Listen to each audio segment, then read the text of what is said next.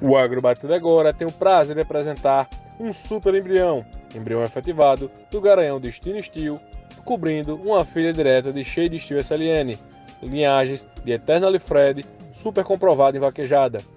O Destino Steel, pai do embrião, é nada mais nada menos do que um super produtor de vaquejada, apesar de ser grande conhecido por ser um campeão nas pistas, hoje já é considerado também um dos maiores produtores e garanhões mais desejados.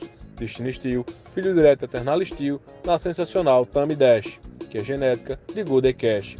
Na lei materna, esse embrião é filho direto da Cleopatra Steel MWV. A Cleopatra Steel é filha direta de Shade Steel SLN, cobrindo uma filha do grande Eternal Rujo, o ouro das vaquejadas.